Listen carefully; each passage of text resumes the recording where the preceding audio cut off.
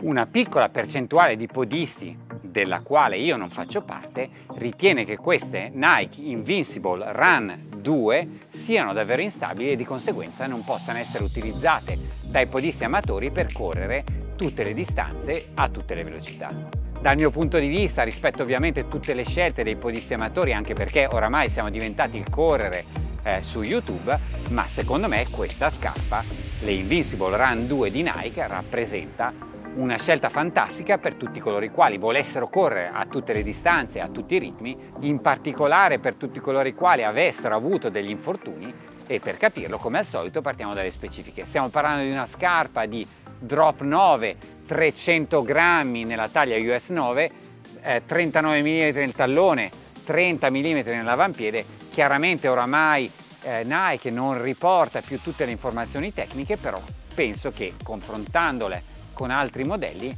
queste siano le specifiche corrette. Non l'ho detto al mio caro amico e prodepodista Andrea, ma ne ho preso pure io un modello, cosa che contraddice ovviamente le regole del canale. Questo vuol dire che ci sarà una recensione in meno qui sul canale, sotto ovviamente by Mia Coffee nel caso in cui voleste supportarci. Ho apprezzato il fatto che ci sia uno spazio nell'avampiede, che la tomaia sia comunque pensata non soltanto per l'estate, forse non è così traspirante come invece vorremmo che fosse durante questo periodo, ma invece può essere utilizzata per tutti i lunghi, soprattutto in previsione della maratona. Ho apprezzato anche la quantità infinita di Zoom X, non credo che ne sia stata aggiunta rispetto alla versione precedente. Lo spazio del tallone è incredibile, cosa che rende questa scarpa più stabile di quello che invece i podisti amatori potessero pensare. Proprio per questa ragione è migliorata pure la conchiglia che effettivamente era leggermente instabile ed era forse l'unico punto debole della scarpa stessa. Il battistrada è rimasto sostanzialmente lo stesso e Andrea Soffientini ci ha già corso, incredibile, in pochi giorni più di 200 km. Io la utilizzerò nei prossimi giorni perché comunque il mio problema alla caviglia non è ancora ovviamente risolto completamente come da promessa di due settimane fa e qualcuno mi ha già scritto quando uscirà la recensione completa, l'ho incontrato dal mio giardino di casa, sentiamo cosa ci ha raccontato, voi nel frattempo stay strong, keep running, iscrivetevi al canale, anche perché nei prossimi giorni ci saranno ancora recensioni complete di scarpe, consiglio questa scarpa a tutti coloro i quali volessero evitare gli infortuni e non avessero la necessità di correre a un ritmo eccessivo, sarebbe anche interessante che vi iscriveste al canale di Andrea perché qui ci sono vecchi ricordi e in quel canale raccontiamo quando uscirà la nuova versione di questo modello che fondamentalmente era bellissimo ma ora è passato di moda. Ciao alla prossima! Andrea, siamo finalmente giunti alla recensione completa delle Invincible Run 2. Cosa ne pensi di questa scarpa? Ma prima di tutto stai bene. Ma eh, toccando ferro sto bene per ora. Ciao a tutti. Ma cosa ne penso? Te lo dico dopo perché se no finiamo la, la, recensione adesso. Ma intanto te la, te la, tiro, sei pronto? Sì, ma così sembra cattivo, lanciala dal basso. Faccio così, eh, ma no. devo, stare, devo stare attento. Vai, una. Ti lancio anche un Invincible 1, eh. Oh, due, due sinistri mi hai dato. Vabbè, ti ho dato quello che è capitato. Cosa ne pensi di questa scarpa? Uh, guarda, le sto guardando adesso, ce le avevo in casa, te le ho portate adesso, le sto guardando, sto guardando che la schiuma è praticamente uh, intatta anche sulla Invincible 1, mi sembrano morbide uguali, uh, anche dopo quanti anni ha ormai la Invincible 1? Un anno e mezzo? Sì, sì. Strausata per correre, strausata per camminare, praticamente adesso pensionata, l'ho portata l'altra volta al concerto che ho detto vabbè almeno sto comodo. È stata una scarpa super super super. Credo che si sia capito che forse è stata la mia miglior scarpa da lento. Il nuovo modello è cambiato ben poco e ne siamo contenti. Uh, a vederla così è cambiato sì un pochino il, uh, il, collarino qua dietro di plastica che è stato un pochino più alzato ma che non ho sentito. O forse sì perché mi sembrano comunque più stabili. E hanno cambiato un pochino il, uh, comunque in generale la conchiglia dietro che è diventata un pochino più dura e più stabile e in generale tutta la tomaia è stata rinforzata. A chi sono adatte secondo te queste scarpe e le limiteresti, tra virgolette, soltanto a chi pesa meno di 75 kg? Uh, no, assolutamente, questa è una scarpa che va bene per tutti, per tutti i pesi perché ecco qua forse con la storia dell'ammortizzatore della macchina non ci entra, sono stramortizzate per chi pesa tanto e sono comunque ottime per chi, per, chi, pesa poco, quindi davvero una scarpa per tutti e, ehm, non so come dirti, è anche super reattiva, io la utilizzo per fare i lenti ma volendo per fare dei lavoretti va benissimo. Invece a livello di ritmi, per quali ritmi le suggeriresti? Ovviamente fino a uh, un certo ritmo, ma a partire da che ritmo? Andando lenti potrei andare anche a 7 al chilometro, 10 al chilometro, uh, per quello non c'è problema, ti ripeto, uh, sia per camminare che per correre sono perfette. Sotto difficile dirlo, per dire, io avevo provato anche a correre finito un lungo a 3,20 senza problemi. Ti posso dare un'idea per i lavori che si può usare, quindi al medio si possono usare tranquillamente anche per uno che fa il medio a 3,30 e sono scarpe che invece per tipo le variazioni di ritmo vanno benissimo. L'unica cosa è che quando si corre un po' in pista ti cacci dentro i piedi, anche se con il nuovo modello un po' mo molto di meno rispetto al primo, però è comunque una scarpa abbastanza ingombrante. Per quali distanze le suggeriresti e soprattutto le porteresti a fare gli allenamenti lunghi per la maratona. Assolutamente una scarpa a scacci infortuni, quindi assolutamente in preparazione maratona è fondamentale perché eh, ci permette di correre tanto e per, tan per tanti chilometri per tanto tempo salvandoci dai da doloretti e dalla stanchezza muscolare. Invece una domanda molto interessante parlando della scarpa stessa lo spazio nell'avampiede è importante ma suggeriresti lo stesso numero o mezzo numero in più rispetto agli altri modelli Nike perché a me hanno chiesto in 15 che numero suggeriresti? Sto usando lo stesso numero solito di Nike e mi sto trovando bene.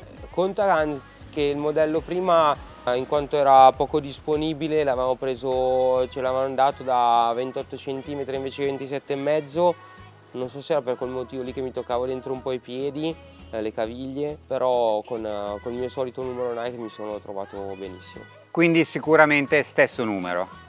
Io sono per lo stesso numero. E rispetto alle Pegasus? Rispetto alle Pegasus stesso numero. No, giusto per precisare perché comunque sembra che non siamo chiari e ci, ci può anche stare.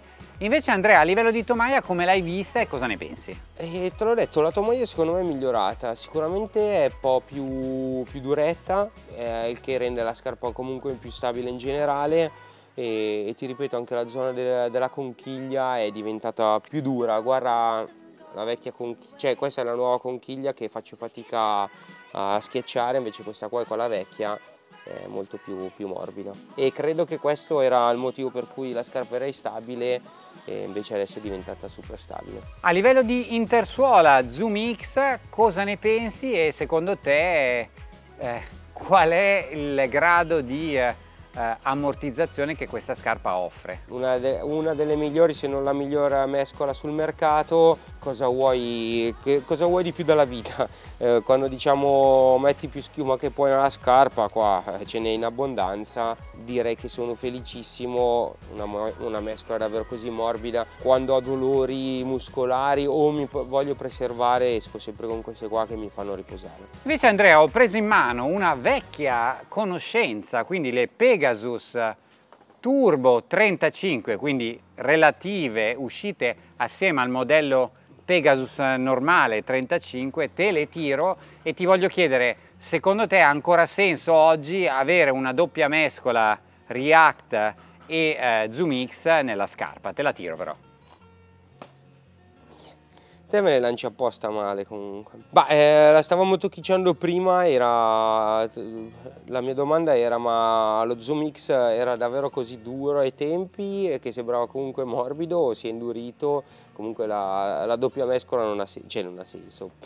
Se hai la miglior mescola del mercato meglio usare solamente lei e non utilizzare nient'altro. Sì, poi è chiaro che qualcuno, il puntualizzatore, direbbe che le, il React è più stabile, eccetera, eccetera, però vabbè, eh, sono, sono, assolutamente d'accordo con te. A livello di battistrada invece come l'hai vista? Battistrada lo riguardo ma mi sembra identico a quello, quello che c'era prima, sì l'avevo abbastanza masarato, beh conta che queste qua davvero hanno 800 km di corsa e non so quanti di camminata, quindi per cui direi che, che posso ritenermi soddisfatto. Vedo che, che si stanno già usurando sulla parte esterna del tallone e un po' nell'avampiede, ma normale utilizzo, conta che adesso hanno 230 km.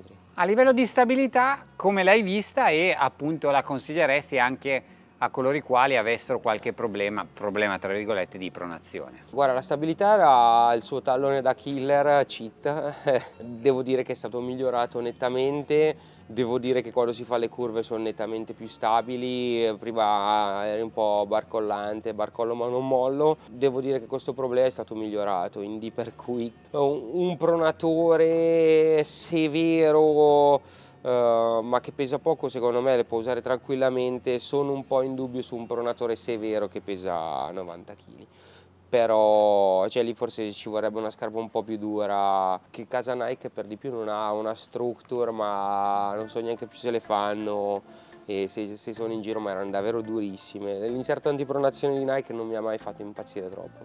Un nostro fan accanito che ci chiede recensite queste structure che sono comunque scarpe eccezionali secondo lui dovremmo farlo. Magari se arrivano altri coffee potremmo anche farlo eh, il problema è davvero delle structure, structure come cavolo si chiamano loro che davvero l'inserto antipronazione della Nike è terribile, è durissimo e anche la mescola in quella zona lì era duro magari sono migliorate però Porca Eva, facevo davvero fatica, vi, vi fiammava l'arco plantare. Invece Andrea, a livello di durata, cosa ne pensi? Sembra che durino a lungo. Io ti, ti ripeto, ho già un po' piallato l'esterno del tallone, ma mh, mm, credo, cioè la scarpa durerà davvero tantissimo.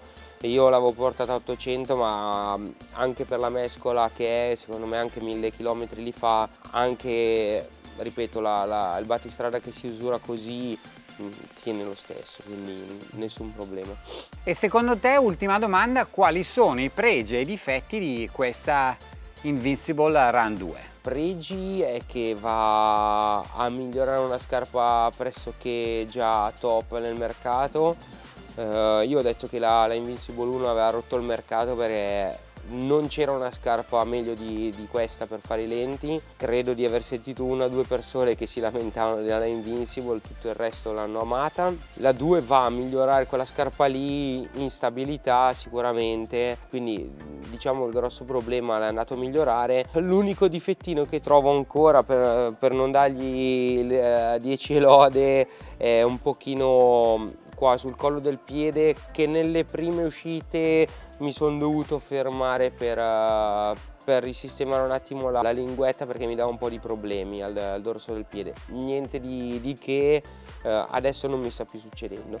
Qualcuno si lamentava del, uh, dei lacci che si slacciavano. Allora io faccio sempre il doppio nodo e non mi si è mai slacciato nelle ultime uscite ho fatto apposta un solo nodo e non mi si sono mai slacciate, quindi davvero credo che eh, o era un modello di, di lacci sbagliato, non lo so, perché o a meno che mi sta venendo il grosso dubbio che, che Nike abbia fatto come cos'era le Pegasus 34 eh, che avevano fatto dei lacci buoni su dei modelli, su degli altri invece un pochino più di nylon che si slacciavano facilmente mi ricordo che la, la, la, 34 quella nera e rossa che si slacciava ogni volta. Invece Andrea, ultima domanda, davvero ultima domanda, quando testeremo ulteriori scarpe Nike, sapendo che sono uscite le Alpha Fly 2, sapendo che sono uscite le Zoom Fly 5, che tra l'altro è confermato al 300%, al posto del React hanno messo finalmente lo Zoom X quando faremo questi test? Bah, eh, guarda l'Alpha Fly l'ho vista molto bene, poi ti, ripet cioè, ti ripeto, dopo che l'avevamo usata le prime volte non mi aveva fatto impazzire, adesso